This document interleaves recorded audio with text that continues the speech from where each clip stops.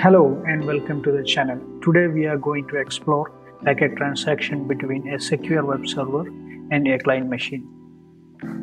We will be capturing the packets from server side using Wireshark tool and analyze them. For that I have CentOS machine running as the web server and I'm using Windows machine as a client PC. Before capturing the packets and analyzing them, let's familiarize the network configuration of both server and the client PC. This Windows machine is going to be our client PC and I have a CentOS machine open parallelly. This is going to be our server machine. Now let's verify the network configuration of both the system.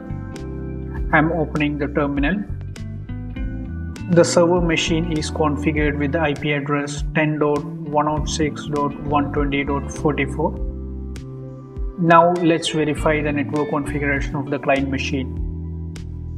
Our client machine is configured with the IP address 10.106.120.34. The host name configured is my.centos.server.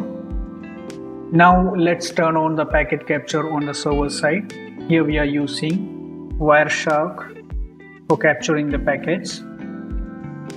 Now we have to apply a filter so that the packets of only client and the server will be captured.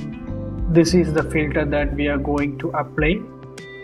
Here you can see the IP address 34 is the client system IP address and 10.106.120.44 is the IP address of the server. With this filter, the packet transaction between the client and the server machine will only be captured. Let's apply the filter and start capturing. Now let's go back to the client system and access the website. We have successfully accessed the website. Stop the capture we have successfully captured the packets. Now let's have a brief overview of what we have captured so far. Here you can see the first three messages are TCP handshake messages, SYN message, SYN ACK message, then comes the final acknowledgement message of TCP handshake.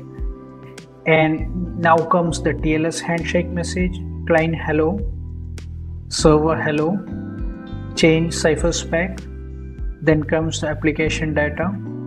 Then again an application data. Encrypted alert. FIN-ACK message from the server to the client machine.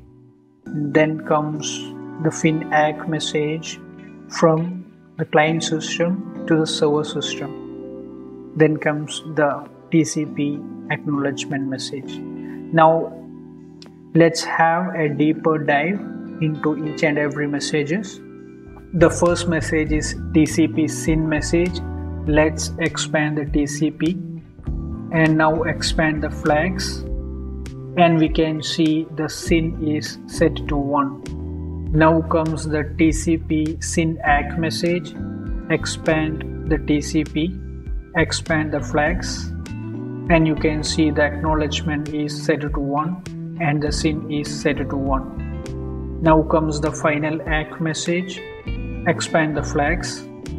Acknowledgement is set to 1. The next message is the starting of TLS handshake that is client hello.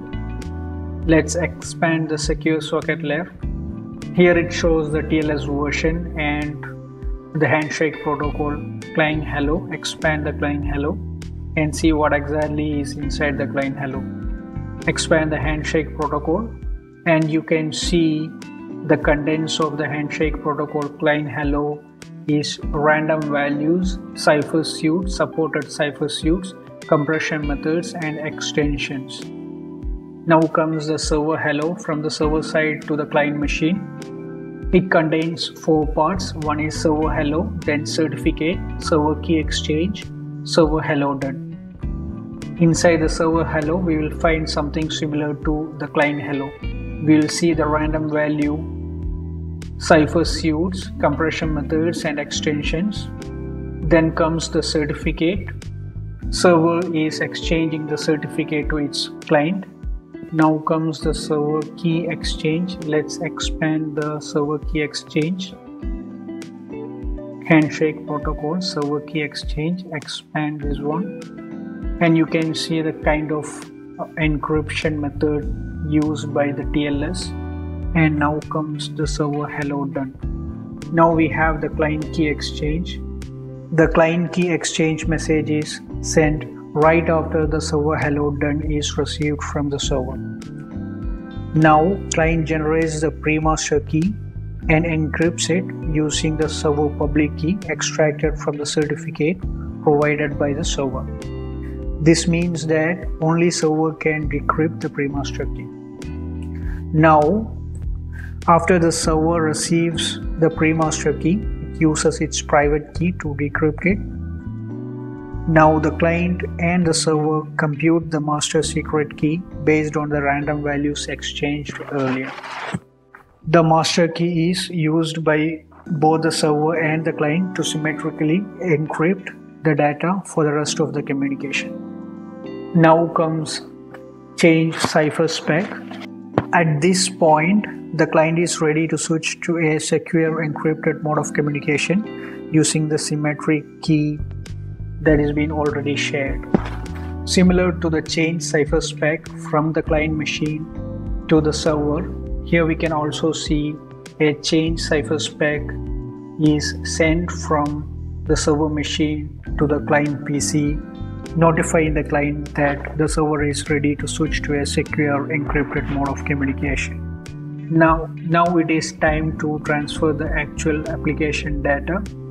Now you can see a FIN-ACK message is initiated from the server side to the client PC, informing the client that the session is going to end. Let's expand the flags. You can see the acknowledgement is set to 1 and the fin is set to 1. Encrypted alert is also similar to the FIN-ACK in TCP. The encrypted alert in TLS is a way of informing the other party that the TLS session is going to an end.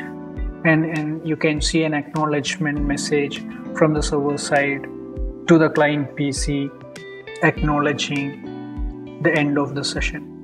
I hope you enjoyed the video. Thanks for watching. If you like the video, hit the like button and subscribe to the channel and also comment your feedback.